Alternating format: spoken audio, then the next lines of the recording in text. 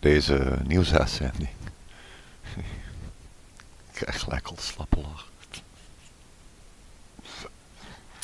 Deze. Even diep ademhalen, Perry.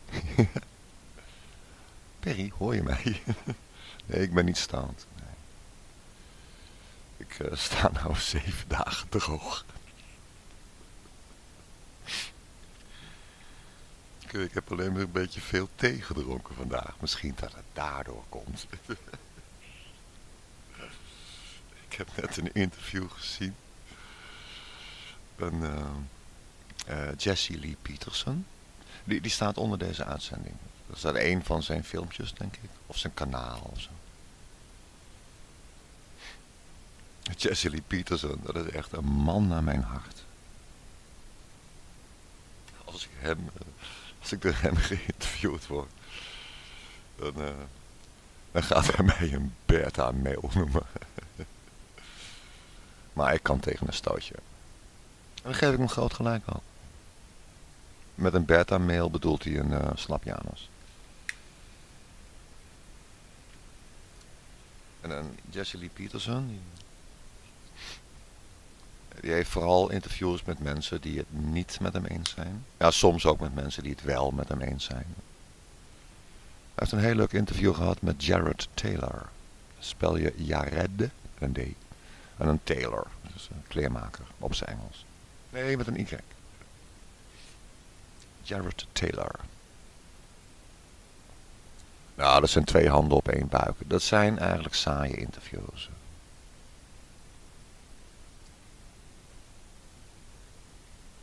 En Jared Taylor ken ik al, ja, ken ik niet, maar daar luister ik al naar, niet elke dag, maar af en toe komt hij weer eens voorbij en dan zeg ik, oh, wat heeft hij nou te vertellen?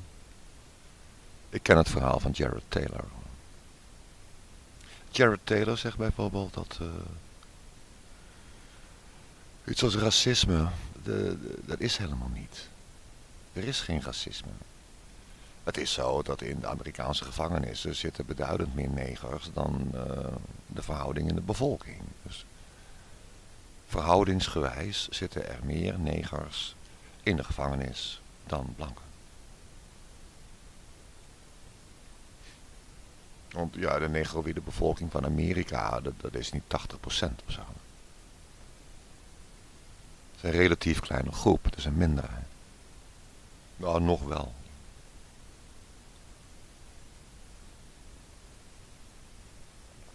Amerika wordt overspoeld met mensen uit Zuid-Amerika. Dus Noord-Amerika wordt overspoeld met mensen uit Zuid-Amerika en Mexico. Daar zit volgens mij de grootste groei. Ik ben geen, uh, is dat ook weer demograaf. Zo. Dat is een gokje van mij. Het aantal blanke mensen in Amerika daalt. Dat is een ding wat zeker is. Ja, er komen veel te weinig blanke kinderen. Nou, Jared Taylor heeft het dan dus over dat aspect. Het, heeft allemaal niks te maken met huidskleur of wat dan ook. Maar er is een verschil in uh, ja, maatschappelijk presteren tussen negroïde mensen. Negers mag je toch gewoon zeggen. Op zijn Engels is dat een scheldwoord hè, als je nigger zegt. Maar ik spreek Nederlands. Maar dat wil niet zeggen dat het komt omdat die blanken ze de hele tijd onderdrukken. Maar er zijn genoeg mensen, vooral uh, donkere mensen, negers. Ah, die gaan helemaal uit een dak. Ja, dat zijn wel leuke interviews. Nou, dit interview. Echt geweldig. En heeft hij een interview met een feministe. En die is een voorganger. In de kerk. Oh, oh, oh, oh, oh. De mens zet zichzelf echt voor lul. Nou, zij is naar de seminarie geweest. Een of andere... Dus, uh, dan kan je voorganger worden. Een soort opleiding om op een kansel te gaan staan. Ik kan ook op een kansel gaan staan, by the. Geen probleem.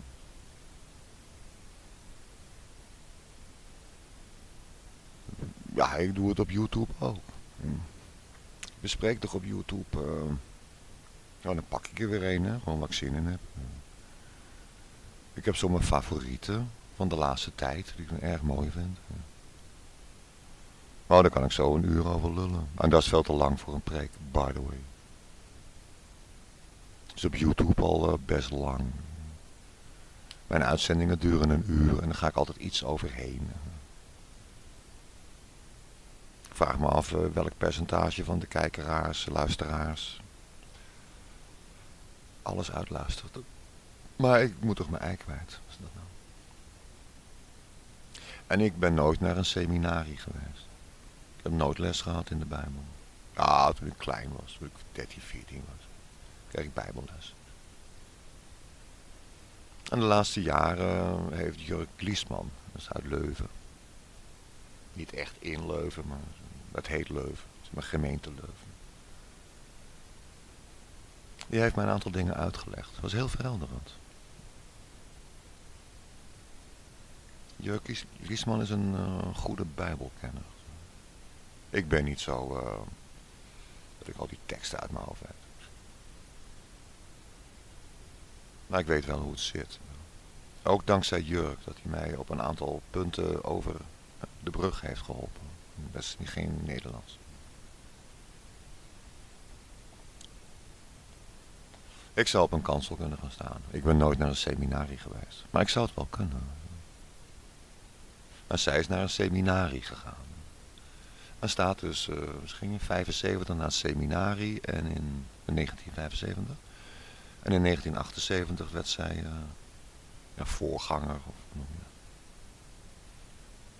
minister op zijn Engels. En zij is feministe.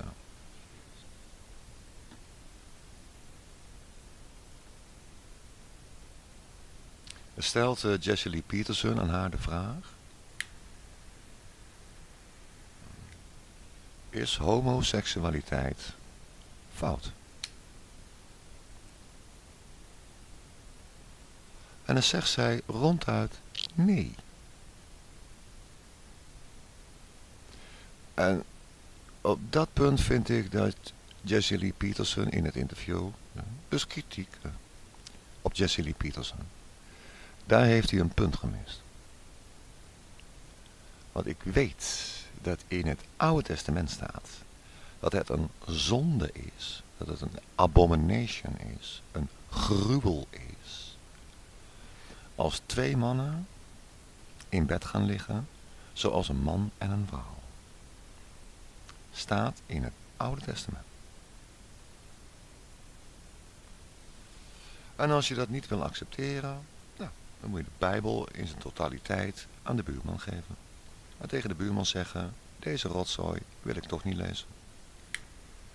Gooi hem niet in de vuilnisbak, dat is zonde. Geef hem aan je buurman. Of aan je tante.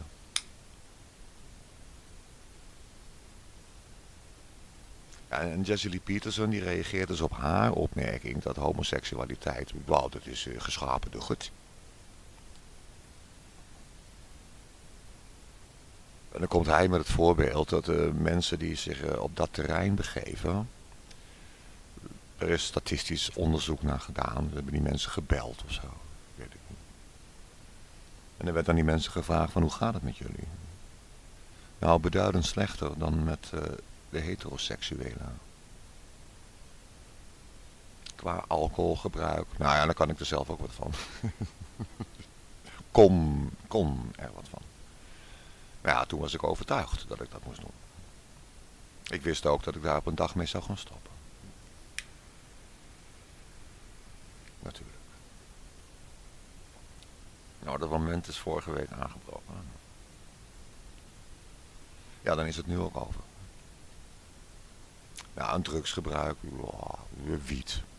Ha, ha, ha. Nou, wiet is niet verslavend. Ik weet niet of je dat wist, maar dat is het niet. Als je wiet rookt en je wordt de volgende ochtend wakker, denk je van, ik, heb gisteren een beetje wiet gerookt. Je wordt er suf van.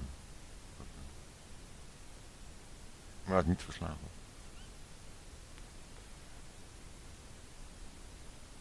En ik heb heel veel wiet gerookt hoor. Ik alles bij elkaar. Ja, zeg maar, ik rook wiet 20 jaar of zo. Rookte wiet 20, 20 30 jaar. En dan zo goed als, laten we zeggen, dagelijks. Iets minder. Laten we zeggen dagelijks. Hè? Ja, en dan een, een derde gram wiet. En dat elke dag en dat 30 jaar lang. Ongeveer pak een beetje. Iets minder, denk ik. En best een hoop. Hè? Misschien wel een kilo of zo. Zullen we het grap even uitrekenen?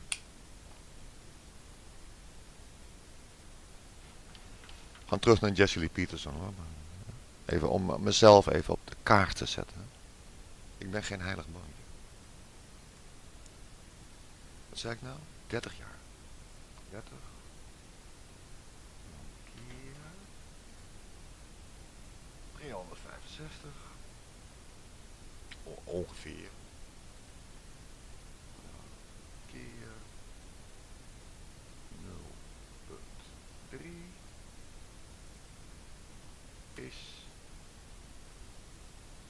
ja, 3 kilo.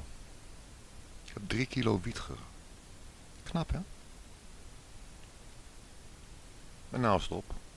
Je kent het spul nou. Denk, oh, daar gaan we weer. Ja, ik heb ook Lord of the Rings heb ik uh, misschien wel vier keer gezien. Ja, dan heb je het wel gedaan. Ik heb al die dvd's hier staan. Denk ik, ja, nummer 2 ken ik al, nummer 1 ken ik al. Ja. Zo gaat het met dingen. Dus ja, ik gebruik ook drugs. Gebruikte ook drugs. Maar Jesse Lee Peterson die haalde dus aan dat die mensen, die zitten zwaar in de problemen. Ja, niet allemaal natuurlijk. Maar opmerkelijk meer. En geslachtsziektes en ja, eenzaam, uh, eenzame ouderdom.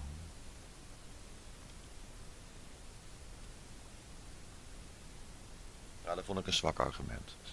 Jesse Lee Peterson had op dat moment moeten weten waar het in het Oude Testament staat. En ik weet ook niet precies waar.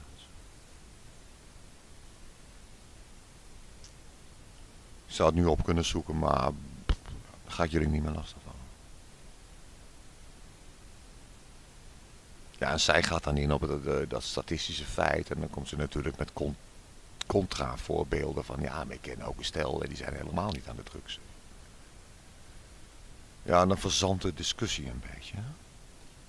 Dat vond ik jammer. En die andere, dat was ook ongelooflijk. Er ging het om de vraag, is God een man?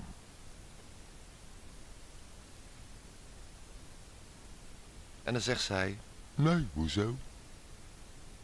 Hij is nog man, nog vrouw. Zucht. En toen kwam Jesse Peterson wel met een goeie, dat was Matthäus 6. En daar staat het onze vader. We vragen de discipelen aan Jezus. Uh, zij is toch minister? Bijbelgelovende christen. En de discipelen die vragen aan Jezus. Maar als wij bidden. Ik, ik parafraseer nu hè. Maar als we bidden. Als we dan toch gaan bidden. Wat zullen wij dan bidden? Want Christus begint met te zeggen, ja, al dat gebed, iedereen loopt, nou, zegt Christus, dat slaat nergens op. Als jij wilt bidden, dan trek je je terug in je eigen kamertje, doe je deurtje dichtje, en in alle rust ga jij bidden. En niemand hoeft te weten dat je bidt. En de Christus zei ook nog, en ga niet repetitief bidden. wat die, die katholieken doen, hè? met die rozenkrans. Dat doen de Mohammedanen trouwens ook.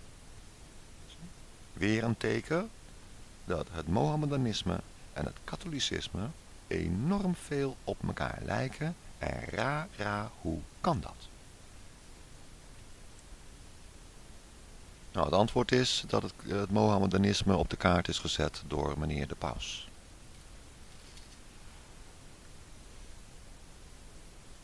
In het jaar 300, ongeveer. Toen zijn ze eraan begonnen. In het jaar 600 nog, het is het 600 nog iets. Is die, uh, nou, uh, is Khadija afgereisd naar Arabië. Er was een katholieke non.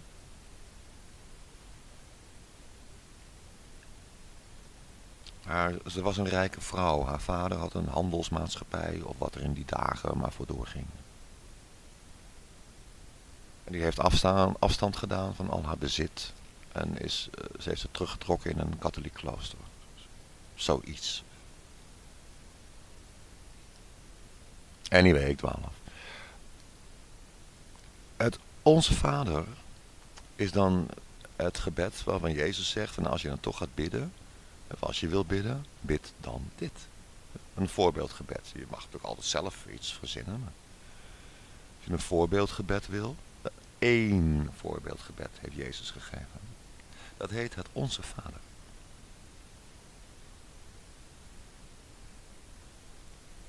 En dan gaat zij heel vrolijk zeggen, nou, maar je kan net zo goed bidden. Onze moeder, die in de hemel is. Uw naam is heilig. Uw koninkrijk komen. Uw wil geschieden, gelijk in de hemel, alzo ook hier op aarde. Er staat ook in de Bijbel dat je de tekst van de Bijbel niet naar willekeur mag veranderen.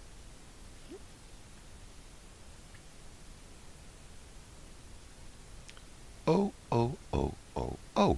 En die piep. Ik wou zeggen Hola, maar dat zeg ik niet. Ja, ik denk, ja, dat staat wel in de Bijbel, maar... Ja, je moet goed begrijpen, ik, ik ben feministe en ik sta op de kansel. En uh, ja, ik neem niet alles van de Bijbel serieus, snap je? Is toch erg?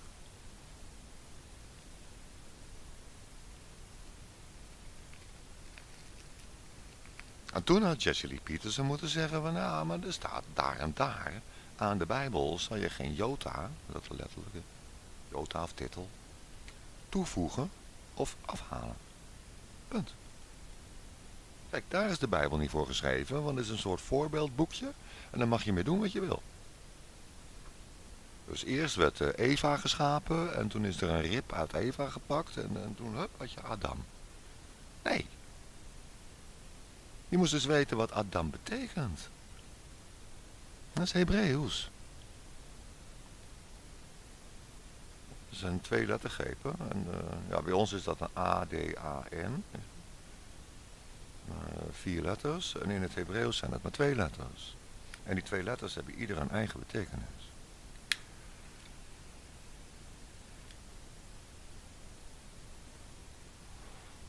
En Adam is de naam van een man is een mannennaam. En daar kan je het niet mee eens zijn. Zeg je, ja, ja, dat was de man als eerste en, uh, en dan is de vrouw dus uh, een manin. Ja, precies. Dat staat in de Statenvertaling zo. Manin. In de King James wordt een andere term gebruikt. Maar het begon ermee dat Adam die zat te zeiken in het paradijs. Ja, en ik wil een assistent. Waarop God tegen hem zei, wat zit je nou te zeiken, jongen? Eh, je hebt uh, leeuwen, tijgers, giraffes, olifanten, chimpansees, uh, noem het maar op. Ja, zeg dan, maar er zijn geen mensen. Ik wil een uh, mensenassistent. God heeft Adam toen even drie dagen, nou even drie dagen in je mond alsjeblieft. Ik maak er maar even straattaal van. Maar dan komt het ongeveer. Kan ook de Bijbel erbij pakken, dan wordt het officieel. En die dame ook op dat terrein. Nee, God is een vrouw en uh, man en vrouw zijn gelijk. Dat zijn ze helemaal niet.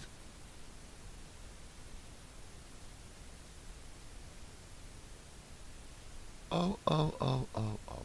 Homoseksualiteit kan volgens mevrouw. En God kan net zo goed een vrouw zijn.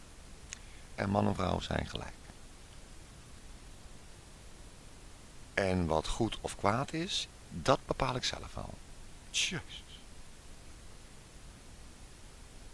Het gaat erom dat we allemaal aardig doen tegen elkaar. En een beetje stimulerend bezig zijn. Ja, daar gaat het niet om. Kijk, als je een, een minister bent, een voorganger, wat we noemen, een dominee. Ja, dan predik je uit de Bijbel. Of niet? Ja? En als je niet uit de Bijbel predikt, zeg het dan eerlijk. Welkom alle fantasten. De grootste fantast staat hier op de kansel. en ik heb weer wat verzonnen vandaag. Dat erg.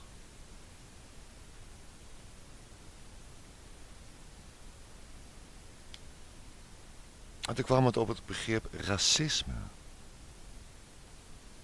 Bestaat racisme? Nou, volgens Jared Taylor niet. En volgens Jesse Lee Peterson ook niet. En Jesse Lee Peterson is een neger.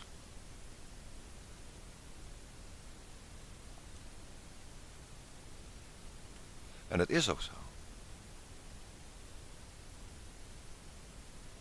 Ik zou niet weten waar je een voorbeeld vandaan haalt dat, wat nou racistisch is.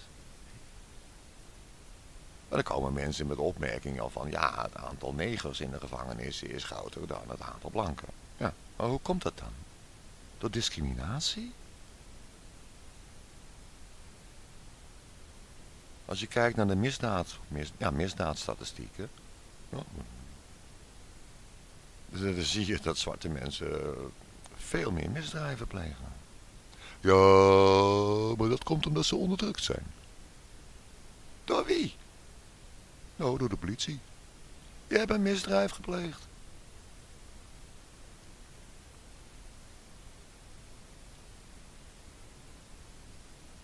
En Jesse Lee Peterson die ergert zich daar groen en geel aan. En hij vindt het een regelrechte leugen die mensen van een donkere afkomst het gevoel moet geven dat ze er zelf niks aan kunnen doen en alle schuld ligt bij de blanken. Dan geef een ander maar de schuld, dat heet external locus of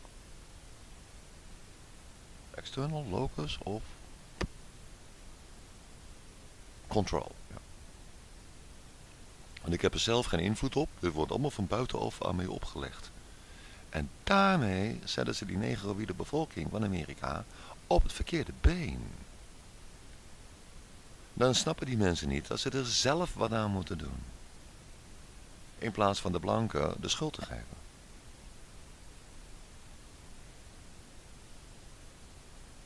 Er is een uh, enquête gehouden onder de bevolking van Amerika met de vraag, bestaat racisme? En de mensen van blanke afkomst die zeiden allemaal, nee, Nee, waarom? Waar baseer dat op? Wie is er racistisch?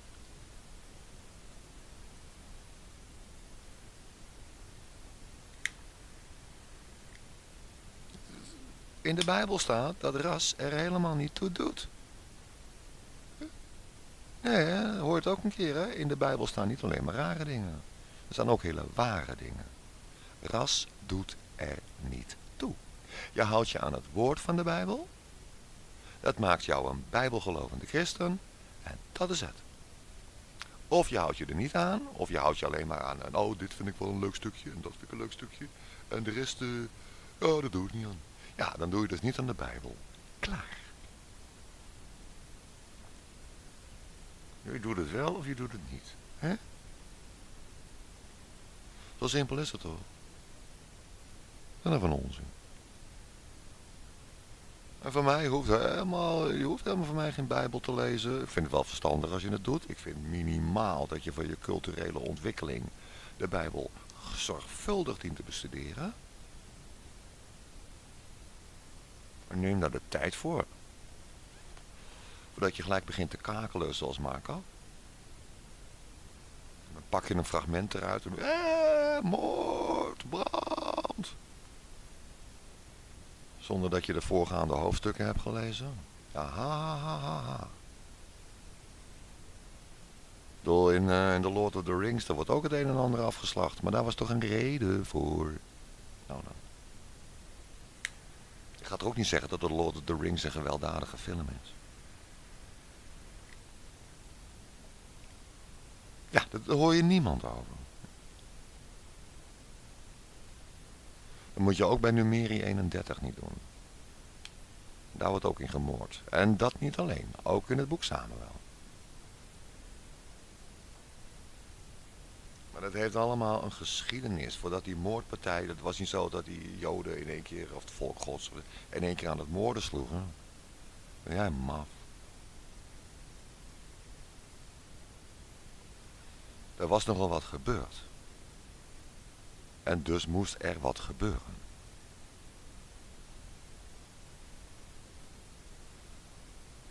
Dus je doet aan de Bijbel of je doet er niet aan. En als je de Bijbel maar voor 90% uh, eh, leuk vindt en die 10% die jou niet bevalt, die laat je buiten beschouwing, dan mag je jezelf geen bijbelgelovende christen noemen en hoor je niet op een kansel.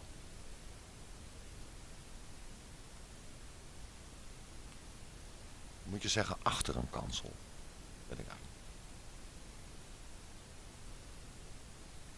In ieder geval, je zit voor de tv en niet achter de tv. Je zit voor je computer en niet achter je computer.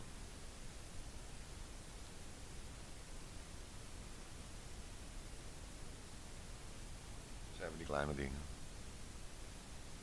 dan gaat ze kakelen. Onze moeder die in de hemelen zei. Hij vroeg nog aan haar. Kan je dan even onze vader oplezen in jouw uh, versie? begint ze helemaal te stamelen. En dan gaat ze lachen. Ah, ah, dat weet ik niet. Je weet niet eens dat onze vader uit je hoofd. En dan ga je wel zondags uh, tegen de goede gemeente zeggen, zo zit het. Zo staat het in de Bijbel. Ja, ik weet niet zoveel in mijn hoofd, maar...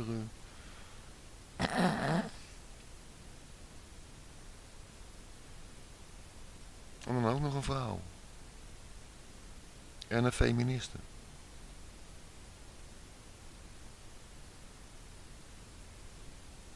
Jeetje, wat erg. Voor die gemeente. En dan predikt ze ook nog voornamelijk voor negroïde mensen. En die bevolkingsgroep die heeft een inslag, inhaalslag te maken. Die mensen moeten aan het werk. Die moeten aan de slag. En niet te horen krijgen dat alles gewoon goed gaat en dat, uh, dat die blanken maar een keer aan de slag moeten. Want dat helpt het probleem niet. ik heb twee jaar lang echt belachelijk veel gezopen. Maar daar ga ik toch niet de buurman de schuld van geven? Ik had het moeilijk. Ik was uh, mad as hell. En ik denk, van, als het op die manier moet, nou dan mag ik ook een keer. Doei. En ik draai op voor de consequenties.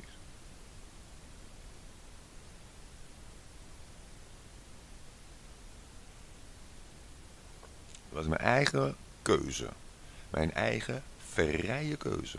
Oh, die dame zei ook nog... Uh, iedereen heeft een vrije wil. Dat is helemaal niet zo. Er is geen vrije wil. Ik weet niet precies waar het in de Bijbel staat. Maar dan hoef ik maar even Jurk te bellen. Ja, Jurk zegt, even kijken, ja, het staat hier. Staat erin. Mensen hebben geen vrije wil. Mensen hebben een vrije keuze.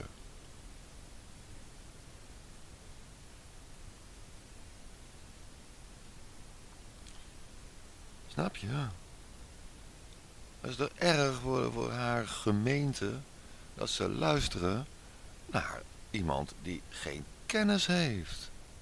En de Bijbel loopt in te kleuren naar haar eigen mening. Ja, maar dat is de bedoeling niet. dan zaai je alleen maar verwarring.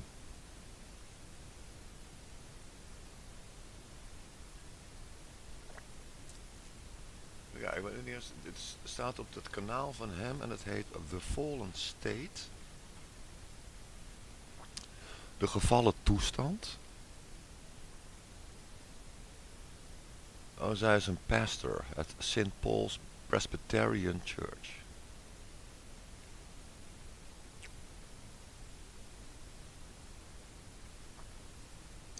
En zij heeft een, uh, een vak gedaan en dat heet feministische spiritualiteit. Zo, wat ik net Wat is nou feministische spiritualiteit? Vrouwen zijn helemaal niet spiritueel. Die zijn veel te materialistisch. Mater betekent moeder op zijn Latijn. Om het maar even op zijn Amsterdamse te zeggen. Materieel. Mannen zijn spiritueel. Niet alle mannen, uh, niet alle vrouwen uh, in die categorie, maar in de vorm van uh, de normale verdeling, zo heet dat. Op zijn Engels is dat de bell curve. Gemiddeld gesproken. En wat is dan feministische spiritualiteit? Wat is er spiritueel aan feminist te zijn?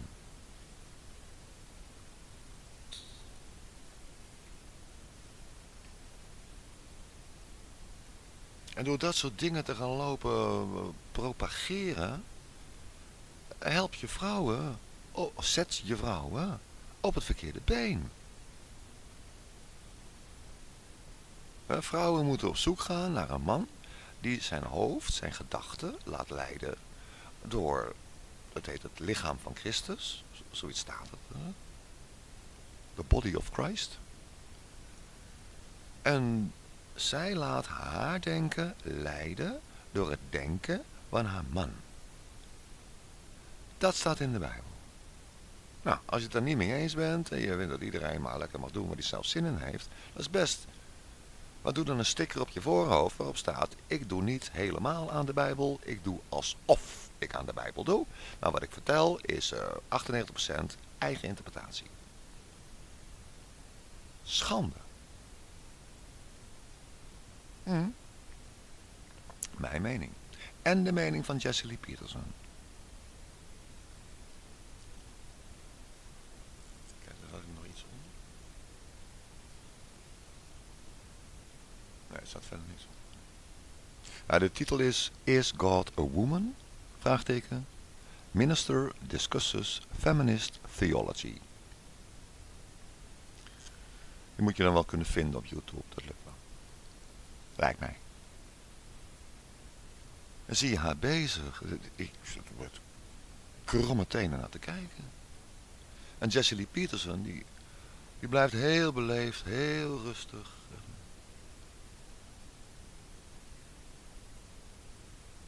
En dan vraagt zij op een, gegeven, op een gegeven moment aan hem, wat is een man?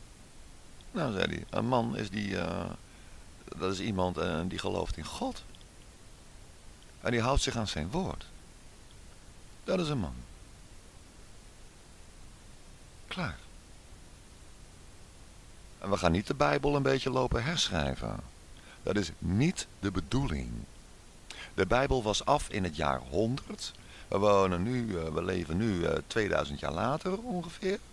Je gaat niet 2000 jaar na dato even de boel lopen veranderen aan iets waar meer dan duizend jaar aan gepuzzeld en gedingest en geslepen en gebeiteld is. Je gaat er ook niet de Rembrandt veranderen. Dat ding is af. De Rembrandt dan, de, de nachtwacht bedoel ik dan.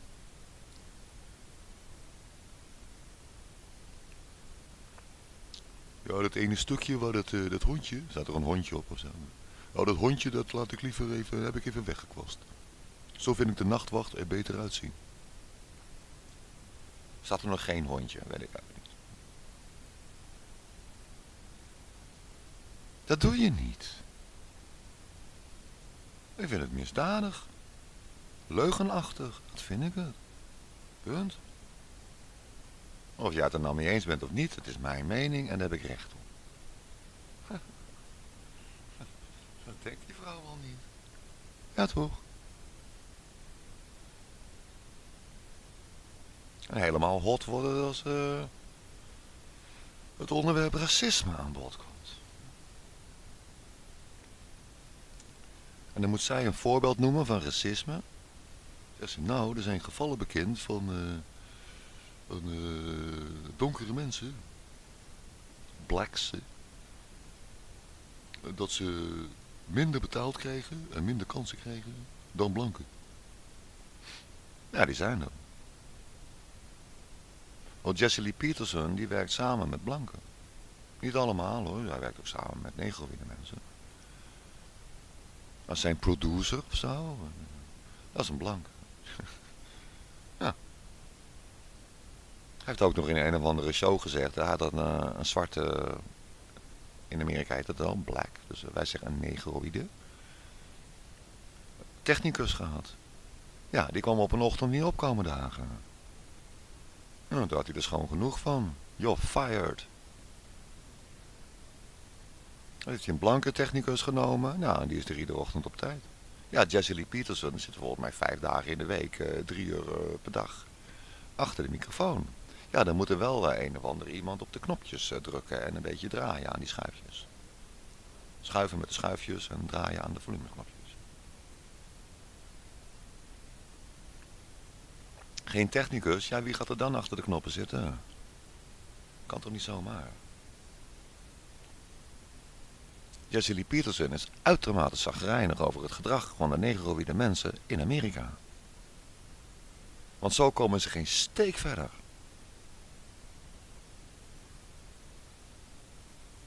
Al die vrouwen die de baas lopen spelen, ja, ga toch weg.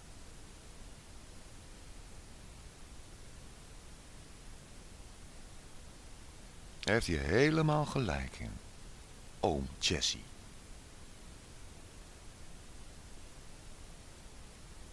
En wat het racisme betreft, daar is Jared Taylor het helemaal mee eens. Er is helemaal geen racisme. Dan kun je zeggen, ja, maar die slavernij dan? Ja, dat zat als volgt in elkaar. In Afrika, daar sloegen ze elkaar de kop in.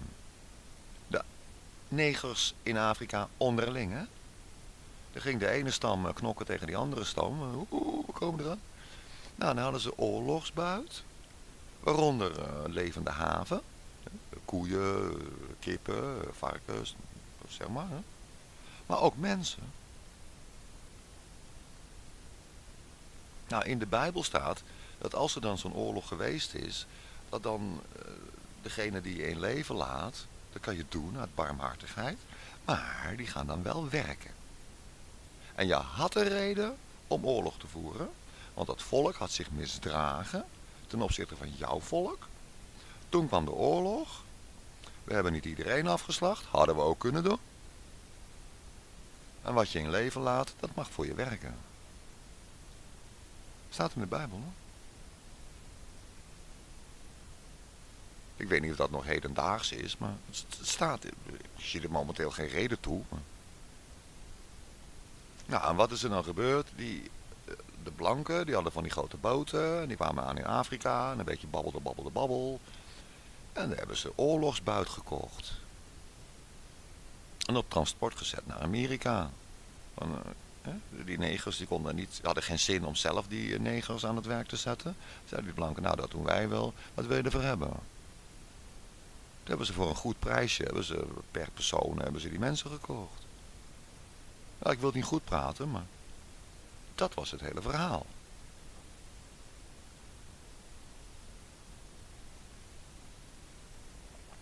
Totdat ze er in Amerika achter kwamen dat het hele eh, economische businessconcept dat het niet optimaal was. En je kon beter die negroïde mensen een eigen bestaan bieden en een baan. Je bent gewoon zelfstandig en wil je komen werken op de plantage, nou dat mag. Dan krijg je zoveel dollar per uur. Of je krijgt een deel van de opbrengst. Dat werkte veel beter. En dan was het daarna een peulenschil om die hele slavernij maar te verbieden. Want dat was economisch beter. Nou, en sinds die tijd is er helemaal geen, is er helemaal geen slavernij meer in Amerika. Ja, behalve dat iedere Amerikaan eh, zich blauw betaalt aan belasting, wat ook een vorm is van slavernij. Maar dat treft iedereen. En niet alleen de negroïde mensen.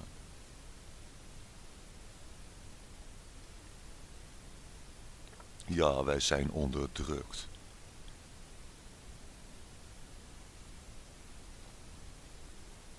En Jesse Lee Peterson die weet ook dat aan het begin van de 20e eeuw werden 90% van de kinderen van de donkere bevolking geboren binnen het huwelijk. 90%. En bij de blanke populatie was dat maar 75%, 80%. Opmerkelijk minder. Nou, en inmiddels 5% van de negroïde bevolking wordt geboren binnen het huwelijk. Ja, waar komt die teruggang vandaan? MTV misschien.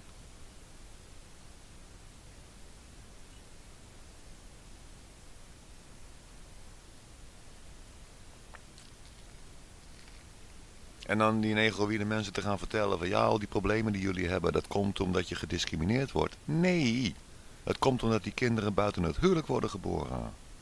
Buiten echtelijk zijn. En papa is er vandoor. Is je eigen stomme kutschuld, zegt Jesse Lee Peterson. En terecht.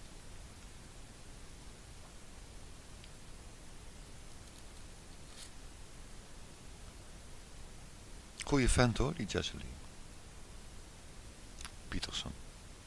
Hij heeft helemaal gelijk. Dat geldt voor de blanke bevolking net zo goed. Kinderen die buiten het huwelijk worden geboren, er worden geen sociale succesnummers. Er worden poesies als het mannetjes zijn. En er worden bitches als het vrouwtjes zijn.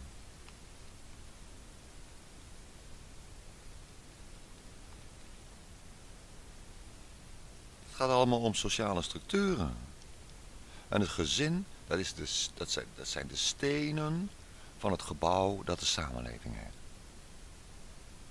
En heb je geen gezinnen, dan heb je dus ook geen stenen. Dan heb je dus ook geen samenleving. Dan heb je een puinhoop.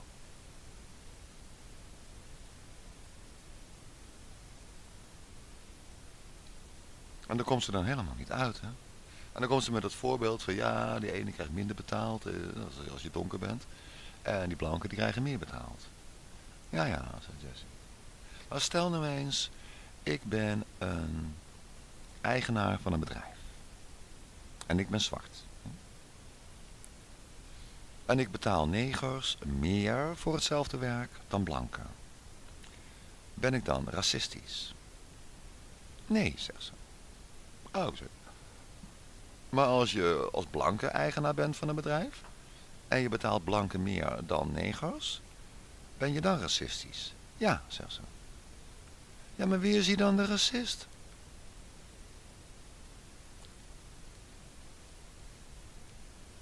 dus je doet als zakeneigenaar, doe je precies hetzelfde, maar heb je een blanke huid en trek je blanken voor, zullen we zeggen, dan ben je racistisch. Uh, heb je een zwarte huid en trek je zwarte voor, dan ben je niet racistisch. Maar je doet dus precies hetzelfde. Maar omdat je een donkere huidskleur hebt, ben je niet racistisch. Nou, dat is racistisch. Het gaat om hetzelfde gedrag en in het ene geval is het fout en in het andere geval is het cool. Walgelijk. En die vrouw die, die staat dus uh, iedere week daar, uh, goedendag allemaal.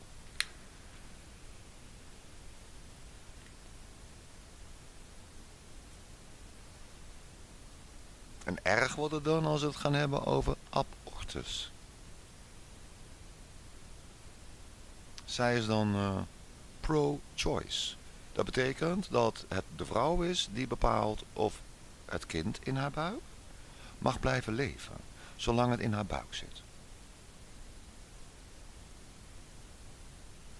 Ha ha ha ha ha.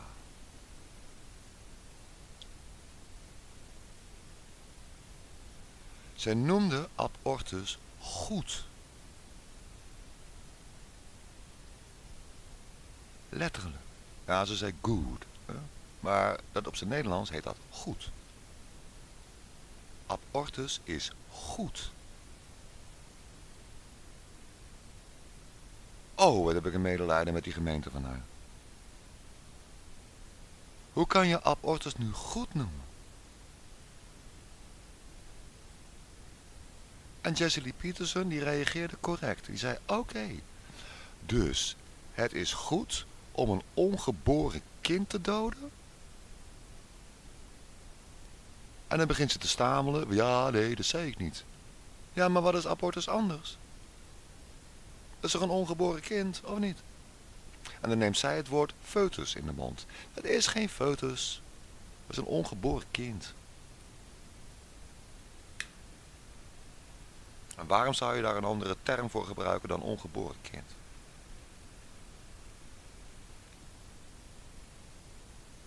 Dat is een kind en dat is nog niet geboren. Nee, het zit er in de buik van mama. Vol van vertrouwen, geheel onterecht. Dat vertrouwen dan. Hup, daar komt meneer de abortuskliniek uh, specialist. Weet je dat ze een abortus hebben gevolgd met een uh, zo'n sonar ding, met die subsound? Dat ult, ult, ultrasound, toch? Nee, niet ultra, maar uh, nou, de andere kant. Infrasound.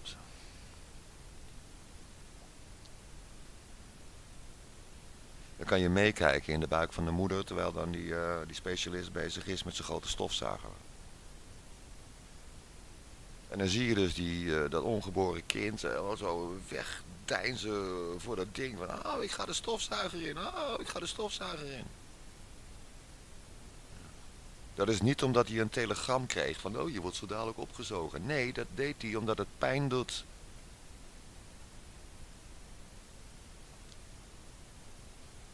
Zij. Als het een meisje was. Ja, dit weten we toch al lang. Hoe kan je dat nou goed noemen?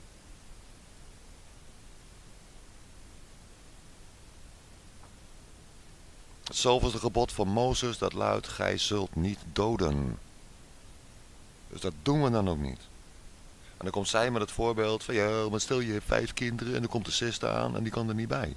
Nou, punt 1 had je niet mogen neuken. Ben je goed stom. En dan zegt uh, Jesse Lee Peterson heel terecht van, ja, nou, je draagt het maar uit en dan geef je het af ter adoptie. Waarop zij zegt, ja, er zitten al zoveel kinderen in de adoptie en, uh, en het loopt het allemaal niet allemaal goed mee af. Ja, maar dan nog, je gaat toch niet zeggen van ja, de kans dat mijn kind in de gevangenis terechtkomt. Maar daar kwam ze dan met het voorbeeld van in de gevangenissen zitten heel veel geadopteerde kinderen. De vraag is, dat, de vraag is dan natuurlijk, waren dat geadopteerde baby's? Of waren dat kinderen die opgegroeid zijn bij mama en op achtjarige leeftijd uit huis zijn gehaald en dan geplaatst zijn in een uh, adoptiegezin? En dat bedoelen we dus niet.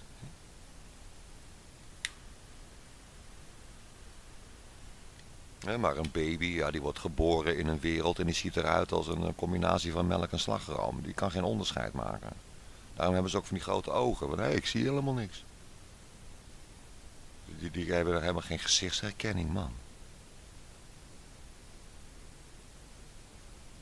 Zo'n baby onderbrengen bij een adoptiegezin. De, de kind dat denkt dat het geboren is bij de natuurlijke papa en mama. Als hij dan hoort op 18-jarige leeftijd eh, dat hij helemaal niet van uh, mama is, maar van een andere mama. Dan denk je, oh, maar ik heb best een leuke jeugd gehad. Nou, ik kan me niet voorstellen dat die kinderen ontaarden. Er zijn genoeg vrouwen die geen kinderen kunnen krijgen. Die willen maar al te graag zorgen voor een baby, voor een baby van een ander. En hoe ouder dat kind is, des te moeilijker het wordt om die zorg over te nemen. En dan kunnen ze ontsporen. Dus zij zitten een beetje statistieken door de, war te halen. En dan nog, al zou het zo zijn dat baby's die afgegeven worden aan een adoptiegezin, dat die dus bovenmatig ontsporen, dan nog heb je geen recht om dat kind in de buik te doden. Want gij zult niet doden, ook al acht je de kans groter, of groot, dat er iets mis zou gaan in het verdere leven. Dan kan je toch niet van tevoren zeggen van, uh, oh, laten we maar gelijk een einde aanmaken. Heb je die film gezien met uh, Tom Cruise? Die heet Minority Report. Pre-crime. We weten dat het misgaat en daar grijpen we nu alvast in. Fantasie van Tom Cruise en die leuke film.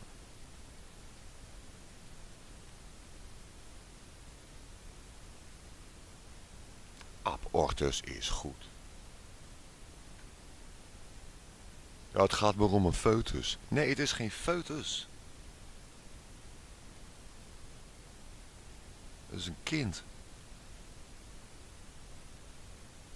Met armen, benen, een hoofd, vingers, tenen, een hart, maag-darmkanaal, de hele meuk zit erin. Het enige wat je moet doen is je moet nog even wachten. En even uitdragen. En dan kan je zien dat het een mens is. En dus is het een kind. Dat is zo vrij simpel, of niet?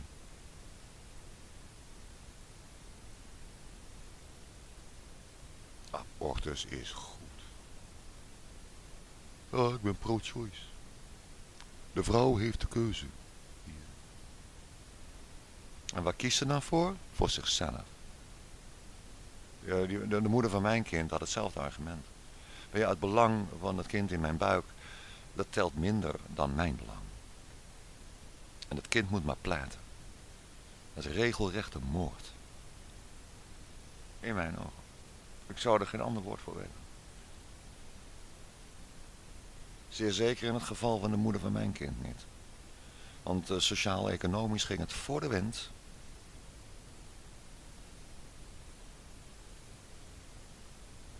En toen, uh, na die abortus, uh, ging het alleen maar bergafwaarts en werd het één grote puinhoop. Vijf jaar later liep mijn dochter bij de psychotherapeut vanwege depressieve klachten. Ra, ra, ra, waar komen die vandaan? Ja, niet van mij.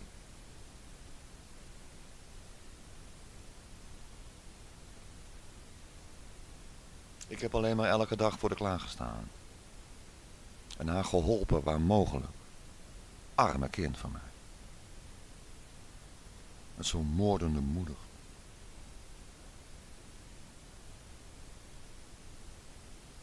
Gelukkig is in Amerika de pro-life, en dat is de contra van de pro-choice, heb je pro-life. De pro-life beweging groeit. Recentelijk is daarbij gekomen Abby Johnson.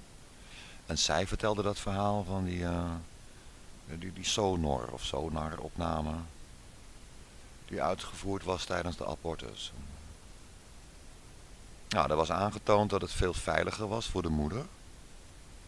Want die stofzuiger die ze erin stoppen, ja, die kan ook per ongeluk de baarmoederhalswand raken. En dan hup, heb je een gat in je baarmoeder. Dan kan je gangreen krijgen. Wondkoorts is de Nederlandse term, dacht ik. als je wondkoorts hebt in je baarmoeder, dan wordt een hysterectomie, man. Dan ben je alles kwijt. Je hele hormoonstelsel gaat op zijn gat. Je bent gehandicapt voor de rest van je leven. Nee, pro-choice. Leuk is dat. En je hebt een dood mens. En je lichaam is aan de gort. Dus het is veel veiliger om met die, die, die sonar dingen uh, de boel in de gaten te houden. Dat je weet dat je alleen maar zit te zuigen aan die wegvluchtende... Ja, foetus wou ik bijna zeggen. Aan het wegvluchtende kind. Maar het was te schokkend. Als ze dat in zouden voeren, omdat het...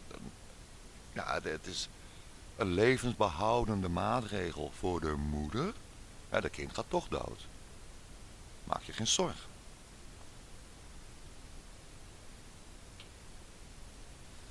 De overlevingskansen van die moeder worden vergroot.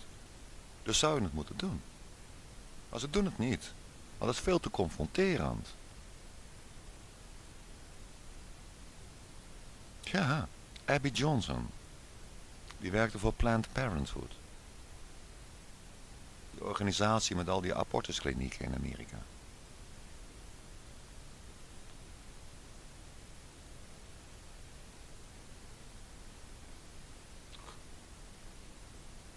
Bij die, toen we, de moeder van mijn kind uh, dus, zwanger bleek te zijn.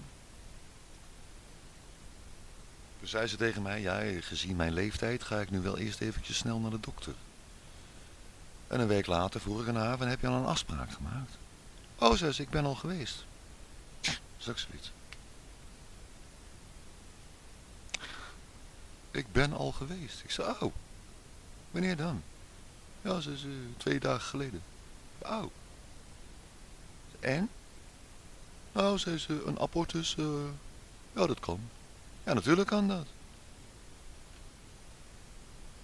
Ook als je 36 bent. Eh?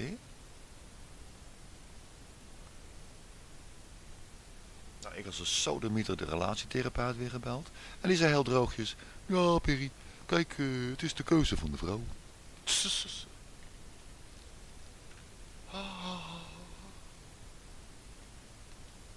Marco is er ook zo weinig, doet er heel eenvoudig over. Oh, dat maakt niet uit. Marco zegt het doodleuk. Ja, als het kind van jou, jouw tweede kind, geboren was.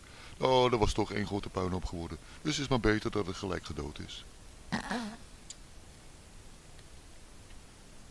Blij dat Marco niet in de regering zit. Ja, niet dat het veel helpt, want de regering is net zo ideaal. In Amerika zijn ze nu al zover dat er een wetsvoorstel ligt om uh, het doden van zo'n kind uh, toe te staan tot uh, vier uur na de geboorte. Na de geboorte. Oh, zei Marco, dat vind ik een gek verhaal. Look it up op YouTube. Agel. Ik heb die, zo'n commissie dingen dat allemaal netjes laten vertellen hoor. Zelfs met de procedure erbij. Dus de pasgeboren baby wordt gelegd op een warme veilige plek. En dan wordt er even een één op één gesprekje gehouden met de moeder. Van, Mien, wat gaan we ermee doen? Laten we het leven of zullen we het doodspaten? Die moeder zo van, ja, ik zou even, ja. Ik zou zeggen van, uh, ja, ik, uh, weet het eigenlijk niet, maar uh, nou het zo vraagt, ja, doe maar doodspaten. Nou, kan ik er weg nou? In wat voor samenleving leven wij?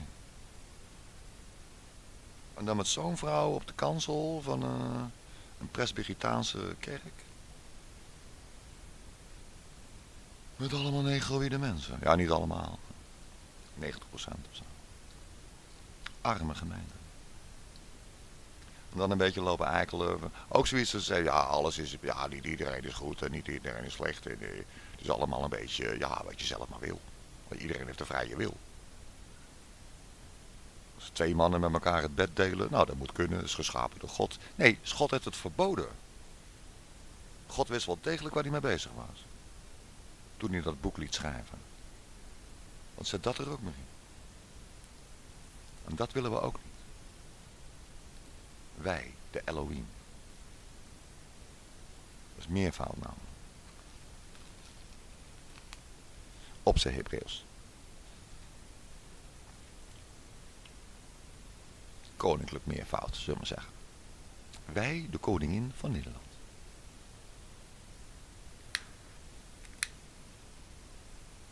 Tegenwoordig wij, de koning. Dat kan toch niet? Totaal alle moraal voorbij. Dan nou.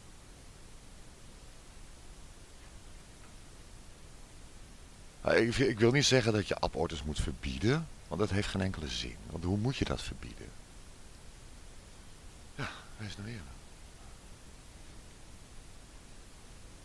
Oh, hij is klaar. En ik moet heel erg nodig plassen. Dat komt van al de thee drinken. Dat is het enige probleem. Misschien om die reden dat ik weer aan het bier moet gaan. Maar dat doe ik niet. Ik ga wel even plassen.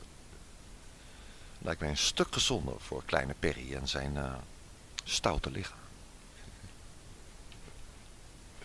Ja, hartstikke bedankt voor de luistering. Ik moet echt gaan hollen. en op zijn hamburger zag ik tjus en dag lieverds.